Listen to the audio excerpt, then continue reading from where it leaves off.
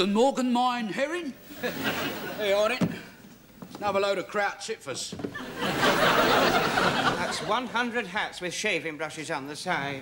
You never sell them, you know, Captain Peacock. It's not for us to reason why, Mr. Humphreys. Young Mr. Grace, in his wisdom, has seen fit to mount a sales campaign to push German goods. But it's difficult enough to sell English goods without a lot of rubbish from the damn Bosch. That attitude is not going to help us very much, Mr. Granger. We are in the common market, after all, you know. I haven't sold one of these for 15 years. That, Mr. Humphreys, is a dress stick for evening wear. It's the sort of thing one, uh, one carries to the opera. Yes, I suppose it'd be quite handy to fight your way to the bar at the end.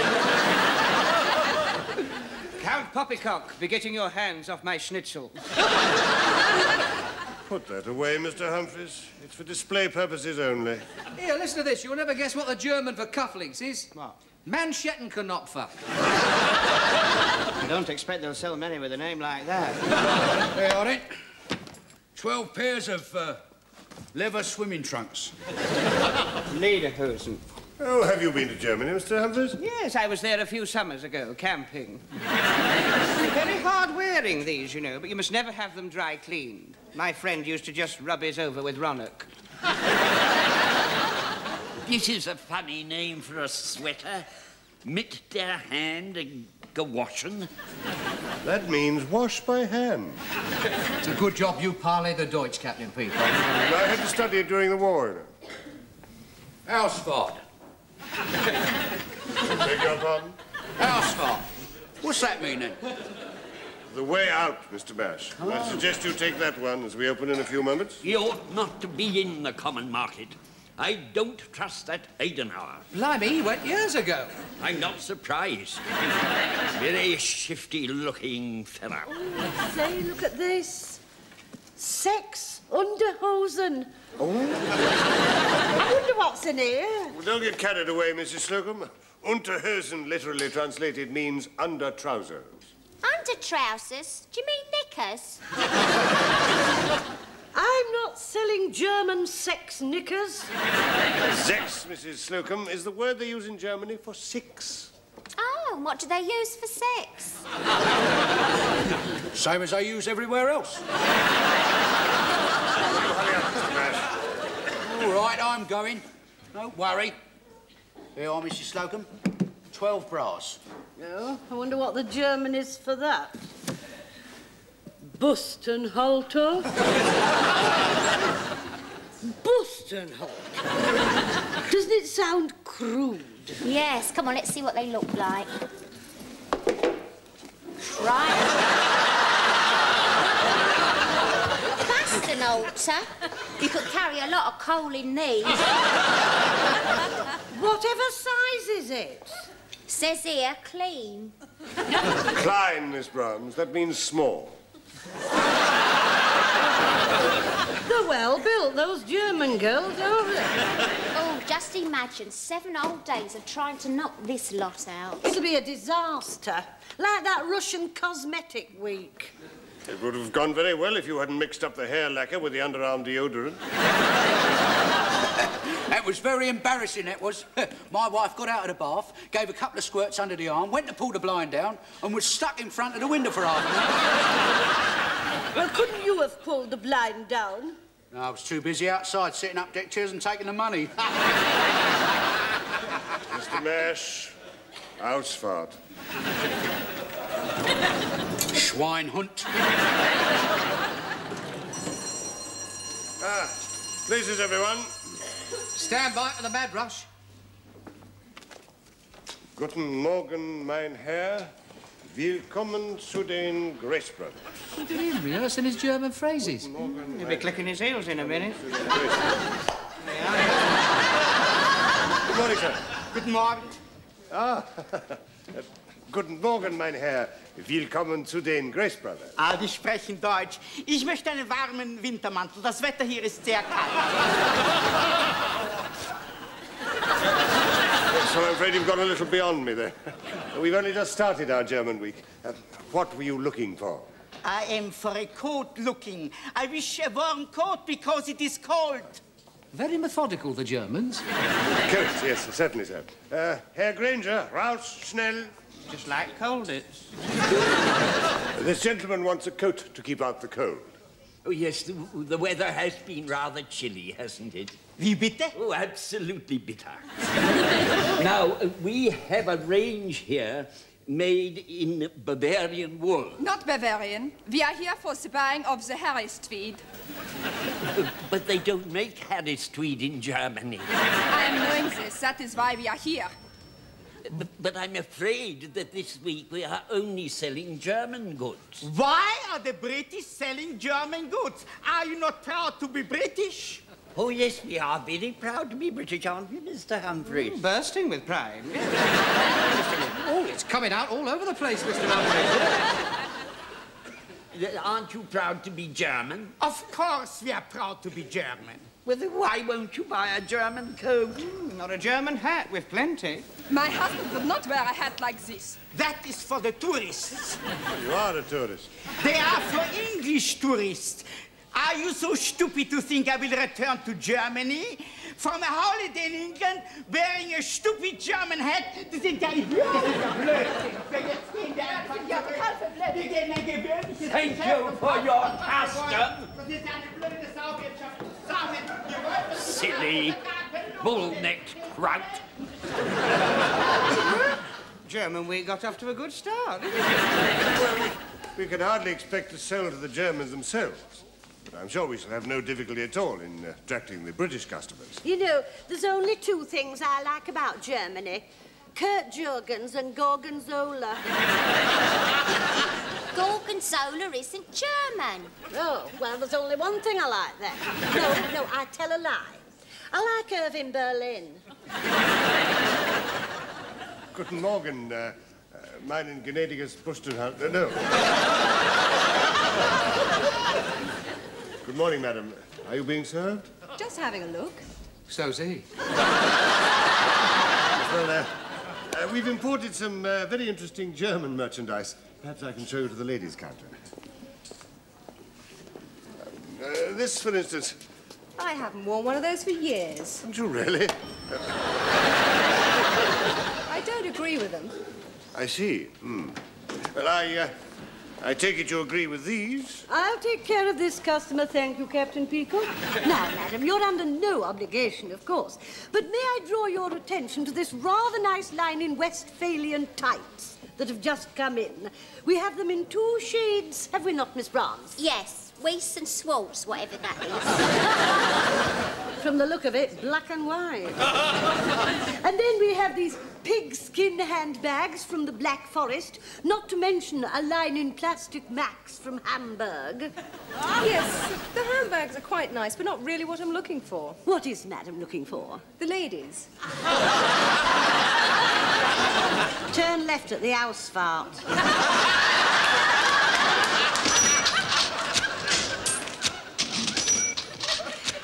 would think that considering we've been here since the crack of dawn this morning, the management would have had more consideration than keep us sitting on our jackses for a post-mortem. Well, I can't wait more than ten minutes because I'm having a bath tonight. It's treats. Well, I can't get the old boiler working. Having a bath with Mrs. Granger, are you? I don't find that amusing. Well, come to think of it, neither would I. You know, this sort of thing just isn't fair on my pussy. she has a go at the furniture if I'm not there prompt. Well, my oven switches itself on at seven o'clock. Well, you're all right then, aren't you? I'm not. My slippers are in there. you see, I put them in. I usually give them five minutes on regular two, and then it's just right for my rice pudding. Well, Shirley and I are going to the pictures. I haven't said yes yet. I wasn't going to ask you that question till after we came out. I don't know why you bother going out with him at all. Well, it's either that or taking me mum's washing to the laundrette. I'm not going there again. I've seen more of your mother's underwear than I have of yours. Good evening, everybody. I say it's very good of you all to stay. You don't mind a bit, sir. Oh, no, of course not. We all have the good of the firm at heart. Well, now, let's get down to it, shall we? Haven't you got a chair, Peacock? Get a chair, Mr. Lucas. I've got one. Get me a chair, Mr. Lucas. I hope this isn't going to take long, Mr. Rumbold, because it's very unfair on Mrs. Slocum's pussy. Ah, I'll be as brief as I can. Thank you, Mr. Lucas. It's always a pleasure. Now, Mr. Rumbold has asked us to stay behind and uh, report on the success of the first day of our German week. Yes, well, now, how did you find it? Mr. Granger? A complete disaster. I sold one pair of strumpfs. I see. Uh, what exactly are strumpfs? It's a damn silly name they use for socks. Well, that's not very good. No, we'll have to pull our strumps off. Did you fare any better, Mrs. Slocum? No, everything's still on their Clyde bugles. I'm not sure whether that's good or bad. well, what are they? Coat hangers. Yes. Encouraging to see you're getting a grasp of the lingo. Yes, I even know the German for corsets. Excellent. What is it? Corsets. Spelled with a K. We're coming along well. I thought we were here to push goods, not pick up Jerry words. Uh, what is the departmental total? Oh, I have the summary here, sir. Ah, Thirty-two pounds. 32 pence. Those were my strumps. Is that all? Good heavens, that's a disaster. I told you it was. Well, is that all, Mr. Rumbold? No, no, no, please sit down, Mrs. Slocum. Got to work out where we went wrong. It's the fault of whose ever stupid idea it was. It was Mr. Rumbold's idea. There's nothing wrong with the idea. Could be the way you're carrying it out. I've already noted during this meeting that the word Jerry has been used. Do I detect an anti-German feeling? Yes. Some of us have long memories, you know. I haven't forgotten being flung flat on me back on Clapham Common by a landmine. and the German Air Force was responsible. All the other times she was flat on her back, the American Air Force was responsible. I'm sorry, Mrs. Slocum. I'm sorry. It was just a joke. I was only joking. Very poor taste. That's the sort of thing I have to put up with all day long. You want to tell him off. Um, you're reprimanded, Mr. Lucas, and that's official. I'm sorry, Mr. Rumbold. I didn't realise it was going to be taken quite as seriously as that. Now then. Oh, where are we in our conference? Mrs. Slocum was remembering being flat on her back on Clapham. Can we knock it off, please? She even remembers what she said. If I could just bring us back to the point. Oh, please do. Now, I feel there's a certain amount of resistance on the part of our customers to German goods. I'm fed up with the way the papers keep on about how hard the Germans work and how well they're doing. They're too d- damn cocky, in my opinion. We did win, you know. A long time ago. Today, we're supposed to be on the same side. Yes, now let's examine this whole German operation step by step. Oh, or goose step by goose step. Now, first, is there anything wrong with our display? Well, I think we've gone far too far. I mean, those signs, for instance. When a customer sees exit and entrance, he knows where he is. What goes through his mind when he sees Einfahrt and Ausfahrt?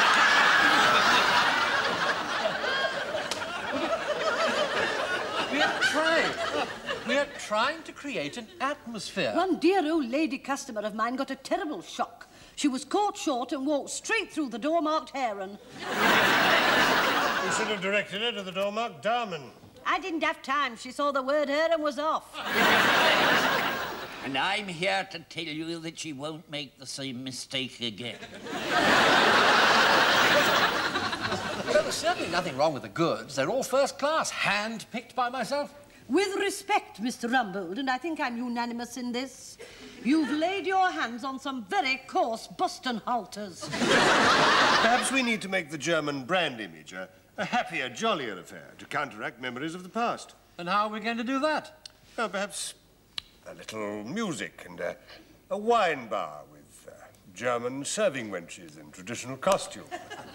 Trust him to come up with that one. I like what I'm hearing. I think we're on the right track. Yes, we could turn the whole department into White Horse Inn and have Captain Peacock dressed up as the student prince.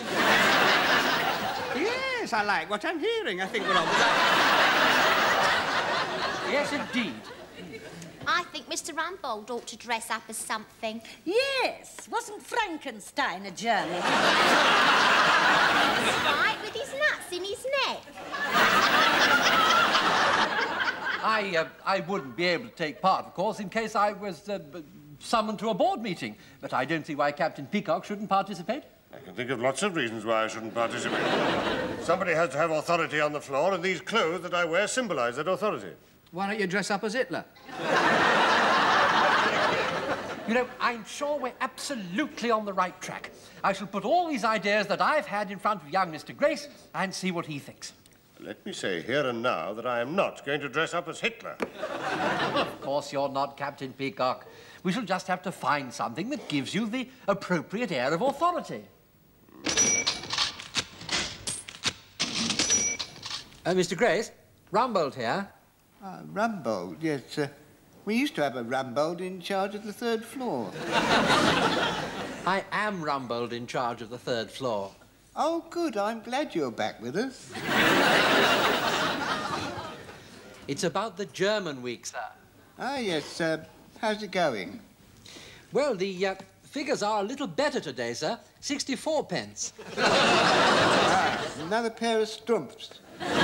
yes, well, of course, I realise there is room for improvement, and I have put into force the proposals I put to the board meeting yesterday. What were they?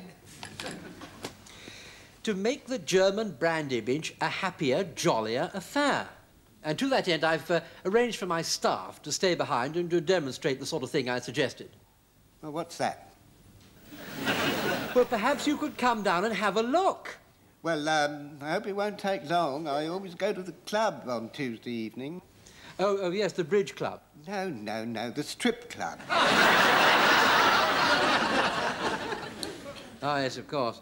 Oh, by the way, I've arranged for my secretary to hand out the drinks at the wine bar. Oh, uh, that's the one with the uh, nice legs. Yes. I'll come down as soon as I can. I thought you would. I brought you a glass of the German wine to try, Mr. Rumbold. Excellent. Uh, how do you find the costume? Comfortable? Uh, I think the blouse should be a bit lower. I, uh, I doubt it. Don't, don't, don't lean over too much.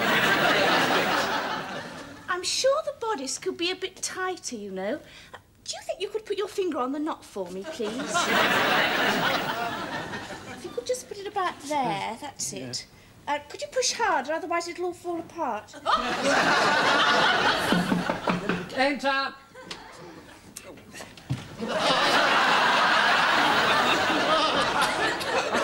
Seem to be caught. Call back later.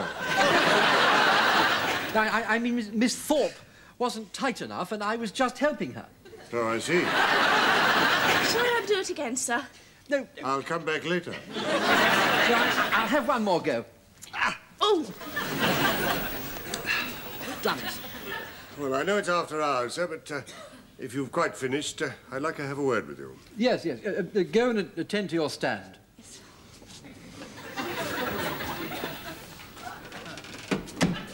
Now, uh, what is it, Peacock? Peacock.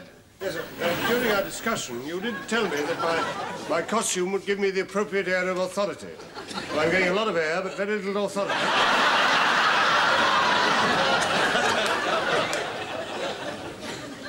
Well, you have my permission to wear a bigger brush in your hat. Thank you, Mr. Roper. Now, um, young Mr. Grace will be coming down soon to give us the go-ahead on the project. Well, the sooner the better. Mrs. Slocum has spent the last 35 minutes in her fitting room sampling the German wine. You'd better get back there. Yes, sir. Uh, quiet a moment. What's that strange creaking noise? My trousers, they're not run in yet.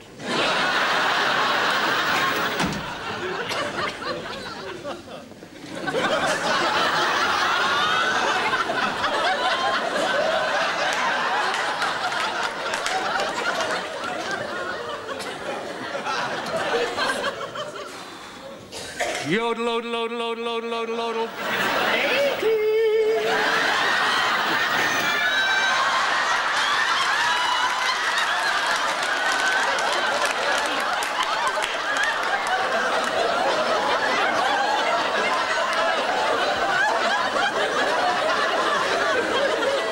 I can't think why, but my eyes are watering. come on, come on, There's nobody here.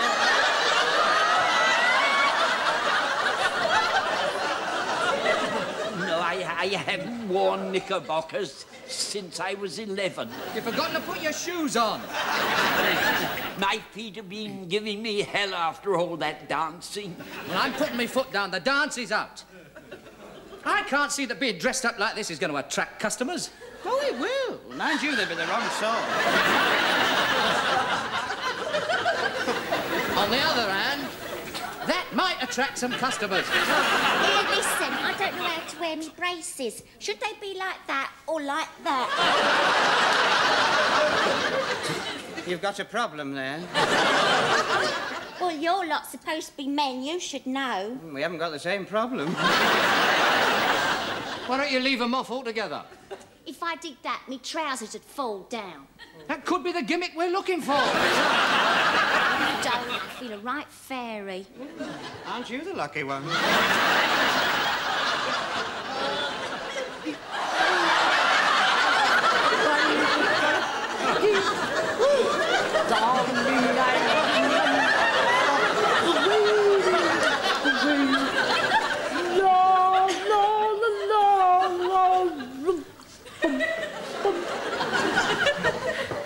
Do you know, I think this hat's too tight. it's making me feel quite giddy.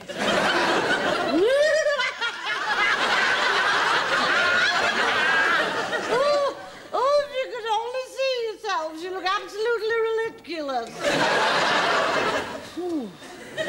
I think this wine is very innocuous. You want to watch it? It creeps up on you. I think it's overtaken her. Hey, Miss Brahms, come here, come here. You want to wear your braces like I do. It's more feminine. Here, you haven't been at the wine, have you? Because you're swaving about a lot. you have to control yourself. Oh, well, in for a pfennig, in for a pound. We might as well all have one. Yeah. Drink, drink, drink, to eyes that are bright. Bang goes the profit on the strumps. Guess who? Mr. Rumbold wants to have a look at you. Oh, magnificent. You all look quite authentic, especially the ladies. Twiddle his knob, somebody is out of focus. I see what you mean. I think I'd better go and wait at the lift for young Mr. Grace. Yes. Places, everyone. Captain Peacock, are you free? Well, of course I'm free. We're shut.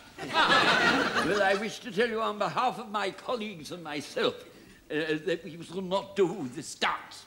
Yes. Well, in view of Mrs. Slocum's condition, I'm inclined to agree with you. I knew it was a waste of time rehearsing it. What, what, what, what? The dance! They don't want to do it.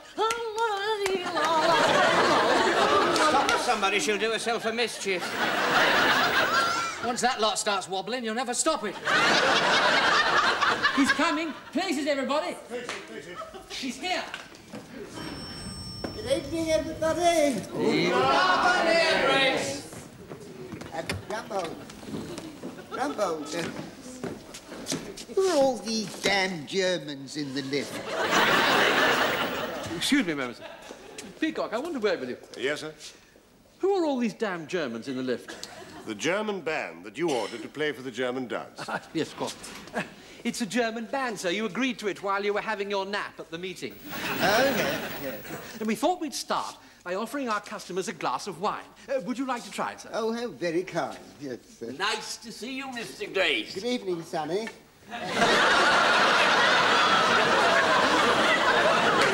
Speak English, my dear. I work under Mr. Rumbold. Ah, you're doing very well, I'm sure. I hope he likes it all. I think think I should tell you now, sir, that we're not doing the dance. But you've got to do the dance. The answer is no. But I've paid for the band. It's more than my job's worth. I'm sorry, sir. If I topple Peacock, I'll drag you down with me, and you'll get nowhere without a reference. The men are behind me, sir. True. Well, let me put it like this. If you don't do the dance, I shall stop the money for the band out of your wages. We'll do the dance. We're knocking hard.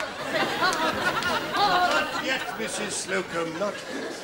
All right, only just remember I've done the half of it already. What is happening, Mr. Peacock? Well, sir, this is the general atmosphere that the customers will encounter, and then from time to time, to attract attention, we shall break into a good-natured German folk dance. but I don't suppose you want to bother with that now.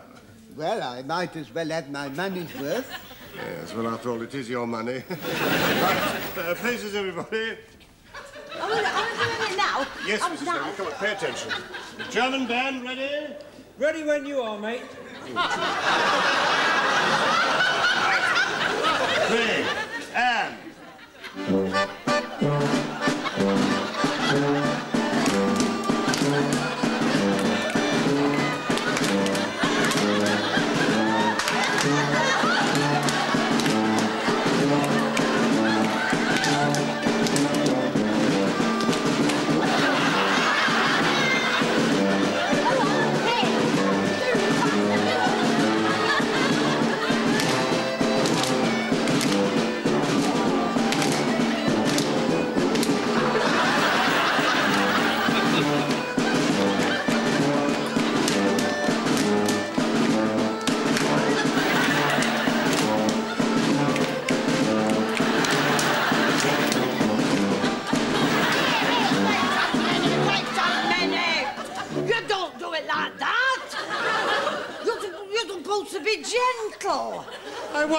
was gentle, I just went like that. You did not, you went like that! I did not go like that.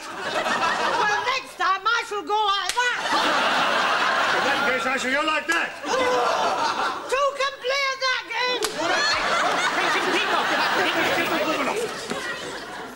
This has been a great eye-opener to me. Yes, well, uh, sir, apart from that last unfortunate incident, what did you think of it? Well, um, I'd like to thank you all for uh, making up my mind for me, and um, Grace Brothers is coming out of the common market. Ah, blimey, we're just starting to enjoy ourselves as well. All together and...